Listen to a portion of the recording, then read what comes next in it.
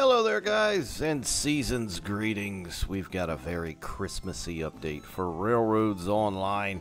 There's actually a couple I'm going to try and cover uh, in this here video, but they're calling it a Christmas special. Uh, so they've updated and patched a few things as far as loco numbering bugs. Uh, of course, added snow, which you can see here because it is now officially winter. We got a new Cooke 280 Constellation a new snow plow, which is pretty cool. I've got set up there as well. Uh, they've updated the Morse code bit, which uh, which we got down here to the right. We've got uh, little telegraph stations. It's neat, and what they do is uh, is really neat. And they've they've updated a bunch of bugs as well, and and updated performance, frame rate. Um, added a new crossover or diamond, if you will. And uh, player icons and names are now on the map, so if you're playing with some buds, you should be able to see one another on the map. But we'll check out the train here in just a moment, obviously. But one of the cool things they updated uh, in the last uh, patch to come out, uh, I want to say it was a couple of weeks ago, were these little telegraph booths. Now, you plop them down in the world just like you do anything else. I'll go ahead and show you how, just in case you don't know. You just grab it. You can hear it beeping. That's pretty neat. Hear the Morse code in there. And you just slam it down. That sucker's good to go. So I've got a couple set up through my little um, blossoming railroad, if you will. Let me go ahead and get rid of this thing here. Don't want too many. You definitely don't want to place them close together either because there are problems with that. So here it is. It's a little telegraph shed. Looks nice. The wood looks very nice. It's uh, weathered on the outside. Got coal stains and grease and just all kinds of general varieties of crap and schmeg all over it, but it looks nice. Uh, you got your your uh, pole over here as well. What would be cool is if they somehow connected the wires between stations. That would look very neat. Sadly, there's only uh, these to go from the little shed to the pole itself. But it's uh, it's nicely rendered. It looks really nice. It's got these old glass domes over it, just like they had back in the old days. Uh, but it's a it's a good looking little model. You can go inside, of course. It's the first time I've actually really checked it out. Close the door because it's mighty freezing out there, like it's about to be across a majority of the U.S. this week. Holy crap! It's going to be like 30 in Florida over Christmas. It's insane. I don't know if you can open the windows. I don't think you can. I'm not seeing it. We got your stove. I believe it continues to go, so you don't have to add wood to it. Got your little kettle there for some hot coffee or tea, wherever you're from. You go towards that, and the little stand will flip up and down on its own. Got you a little chair over here, and of course the uh, the little telegraph models and some some jars over there for whatnot. Your timetable booklet on the left over there, little little ink jar, ink well. Um, but yeah, neat little thing. But what you can do is go ahead and hit M, open the map, and you can see these T's. Those are the telegraph offices. You just click on one, and voila, we are now. Let's get out of here. We are now at the main depot. How cool is that? This has probably been one of the biggest things I think a lot of people requested for this game since day one because it was kind of a pain in the butt to move around where you were on the map. Uh, so this it's very cool. Not only that, but they, they added a way to, to have a model, a new model on the map, so it, it fits. It's you know it's not just a a function, but it's got some form to it as well, if you will. So that's pretty neat too. Then we've also got, we'll go ahead and throw it down over here. We got a new uh, a diamond or junction, if you will. Uh, 45 degree crossover, this sucker right here. You, of course, got to put um, uh, bedding down, but it looks very nice. I'll definitely have to uh, throw some of these up. And then you have got the one that they already had, which is just a 90 degree straight one there. Bam, bam. So those look very nice as well. And I think that is about it as, as far as that kind of stuff. Now the locomotive, the new Connie, or Constellation. Uh, very neat. Uh, now what's interesting about this thing, we'll go ahead and open it up here and take a look at her. I think uh, for those of you familiar with Train Sim Classic and the developers Machine Rail and a lot of the really cool Steam locos they've been releasing in the last, what, about two years now, uh, I think this is part of their handiwork. It might even be that model because they made one of these, and I know uh, that that one or two of the, the people on Machine Rail are are team uh, part of Railroads Online for modeling or whatnot. So I think it's the same locomotive, um, if I'm not mistaken. It dang sure looks the same. So this is the first um, option you can get here. It's just uh, black with the um, the red leafing up there. It's the second paint. This this is why I think it's this is why I think it's ported from Machine Rails uh, 280 in Train Sim. This is this is how that one um, essentially looked. Uh, the the kind of build look straight off the uh, factory floor, if you will. Number three, which is all black with a little bit of uh, gold trim. That's the one I like there. That's what I've got set up down the line back there. Number four, this is kind of funky. Uh, green, black, gold, red wheels. I like the red wheels. Uh, I don't know. I'm not a not a fan of the green one though. And number five, oh, this is the one with the the gold trim. Okay, this one is not. This one's just all black. That one looks very nice as well. You'll also notice on the piston up here, uh, on a couple of them, it says keep off, which is uh, just a nice, nice little detail. We'll go ahead and plop one down here. We'll do the all black. You can, of course, add a number, name it whatever you want, put something on the tender, and you can change the smokestacks too. So you've got the straight top hat, different Congdons, uh, and the headlight too. I wish they would add an option for the smaller, uh, slightly more modern headlights. That would be cool because these ginormous headlights are, well, ginormous. We'll go ahead and order that and plop it down and just take a look at it here. Cooke. So, who was it? Cooke and, gosh, who else made these? Was it Baldwin? Anyway, this was the Cooke 280. Uh, like I said, I think it's from Machine Rail. It's got to be that model. Constellation, or Connie for short, uh, with customizations, of course, we went over. Uh, and it was highly popular in, in real life back in the day. Just about every road, you know, narrow gauge or not, used these at the time after about 1870 for hauling freight.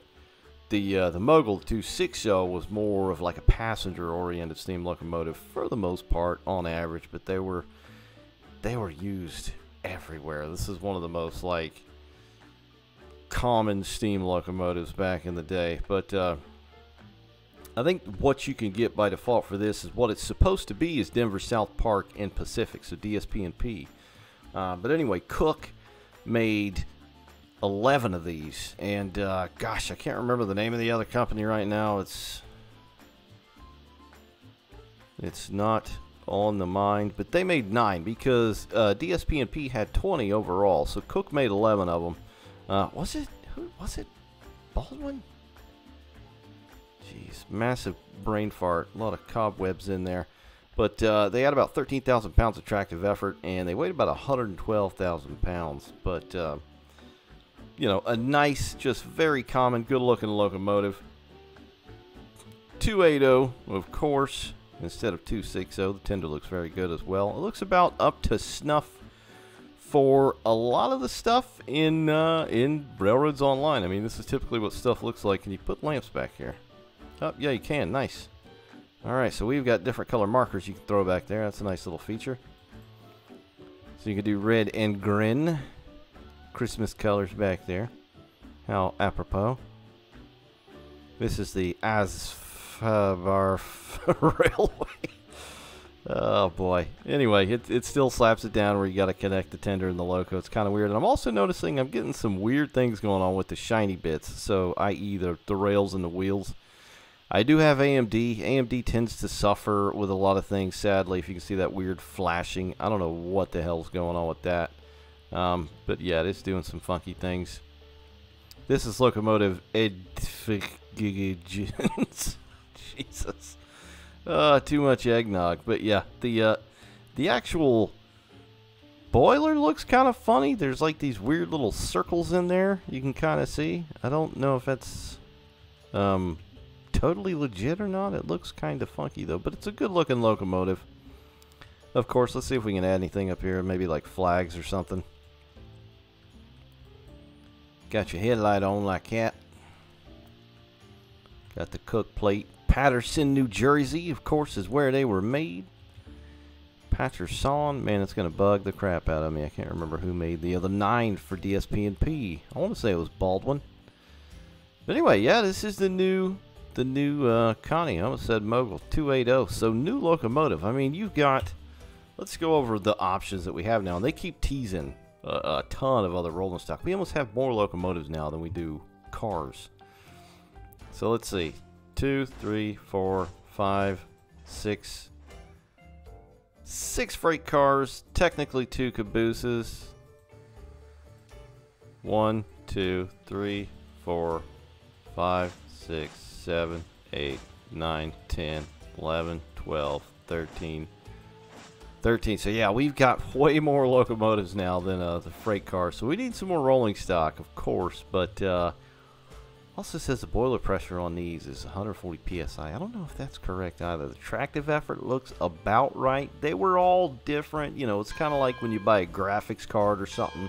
It's all about the silicon lottery. It was like that back in the day with a lot of steam locomotives to a degree. But uh, so one of the other cool things to this update is the wedge snowplow to add with the winter setting that we have here, which is pretty dang neat. So it's this sucker right here, builder West Side Lumber Company. West Side Lumber Company was in California.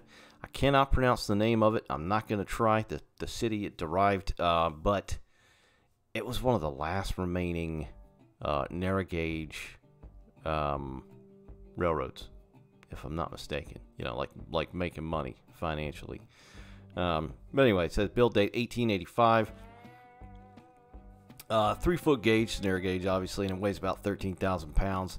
Uh, and these are pretty neat as well. This is just a, a side one, uh, a side bay, if you will. It just shoots it off to one side. And typically, back in the day when when they were running these things, they could, you know, require up to like five locomotives in some cases just to get enough power behind this thing because uh, you know several feet of snow miles and miles long is very very heavy. So they need a lot of force to get the thing moving and they have to get it up to essentially about 50 mile an hour up to get them uh, you know working and doing what they're supposed to do because you know they're supposed to shove snow out of the way. But uh, they they often especially when they they first kind of began their tenure as doing what they did could be very dangerous as well um, back in the day using these things. But you can customize this as well.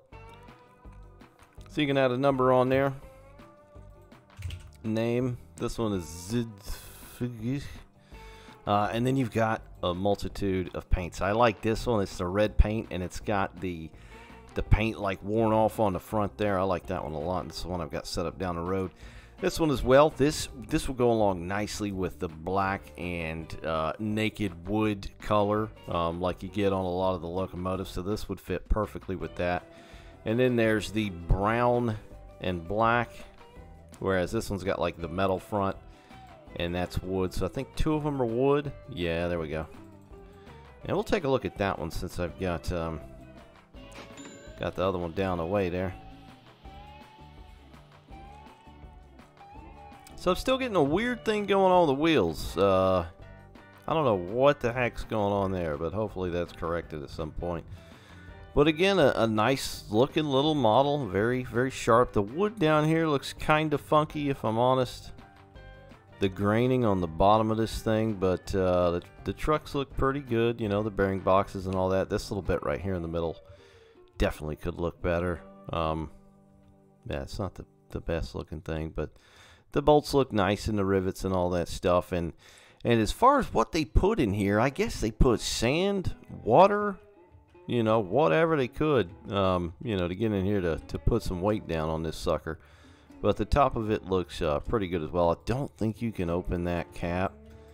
Nah, you can't. It'd be kind of neat if you could uh, add sand to it if you needed to or whatnot. But you've got multiple varieties of this thing. Um, the wood on the front looks okay. It's kind of got that weird like like melted plastic look to it a, a tiny bit. Um, I think the metal one looks looks a bit better.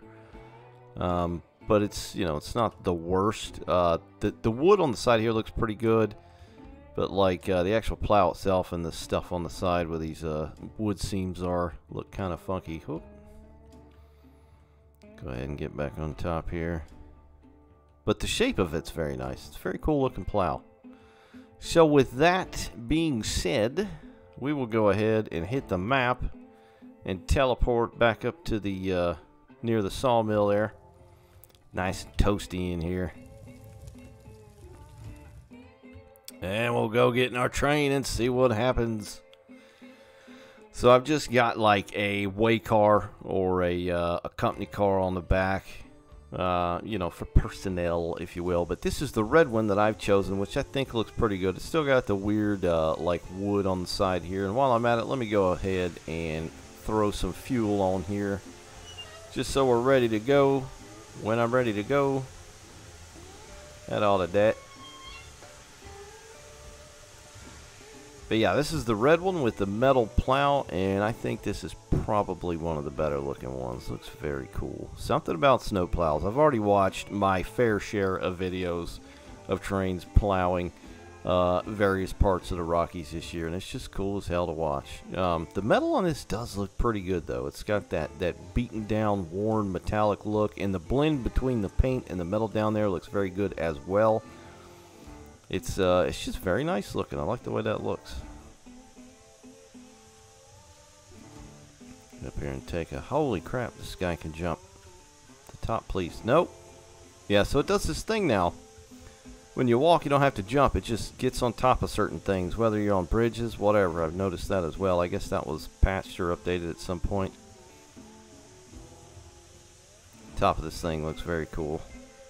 It's like a ski slope. And something else they fixed, so this little way car, you used to just walk right through the porches, and now you actually get on top of them. So that was corrected. I don't know exactly when that was corrected, but it was obviously done. Go inside here. Yeah, because you used to just walk like straight up on the floor, basically. So that's all gravy now, which is nice. We'll add some lamps back here.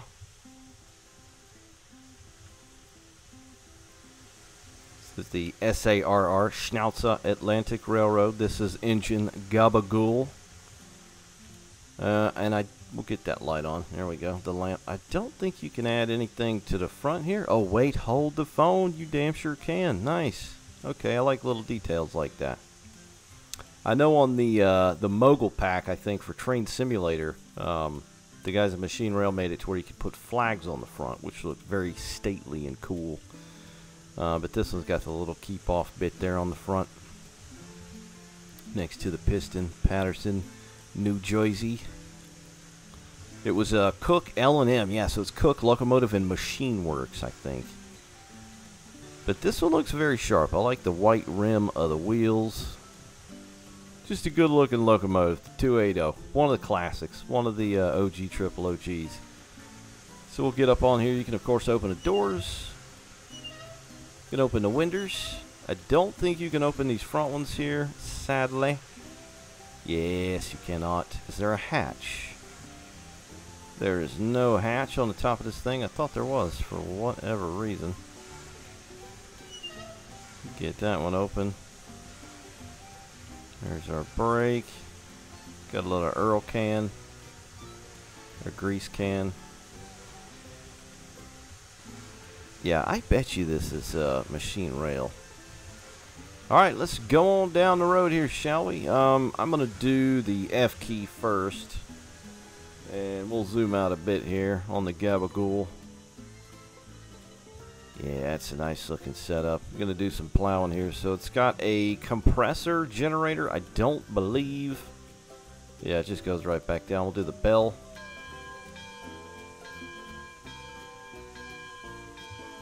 And, uh, it sounds okay, but it doesn't sound as good as the other new bell that they did uh, in the last the last video I made looking at uh, one of the new models. It doesn't quite sound the same.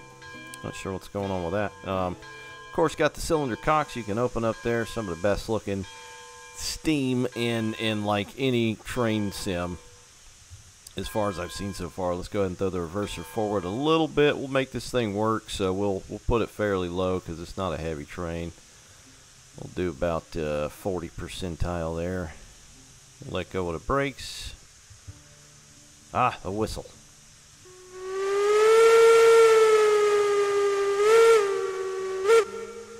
Still not quite the best. I, I really wish they would start up in the whistle game. Uh, some of the locomotives have decent whistles, but that one is.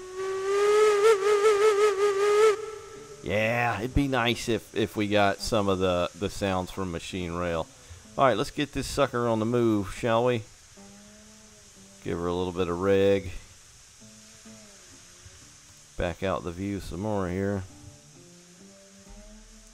A little bit more.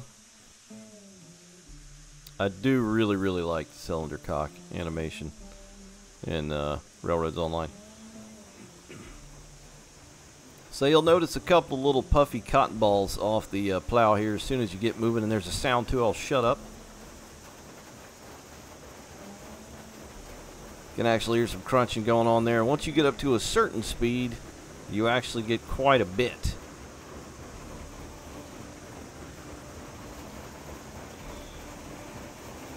Decent looking animation. Now, I don't know what exactly they did. This is Unity Engine? Or wait, no, did they go to Unreal? I think they went to Unreal. This is Unreal, right? I can't remember. I know the last game was Unity. Anyway, I'm assuming what they did with that is maybe use the same kind of Steam animation. There goes the telegraph office. And just added it to the front of the thing. It's kind of funky looking though, little balls on the side. it's uh it's it's a little funny looking. Let's get rid of the cylinder cocks here. And uh, let's open her up.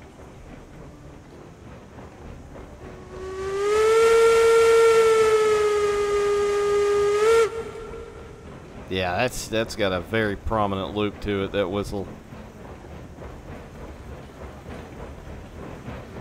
Alright, wide open.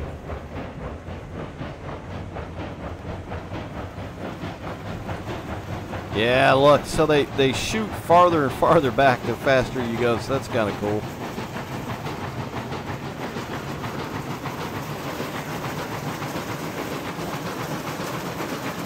And just like with all things Railroads Online, holy crap, look how high that's shooting. Good lord.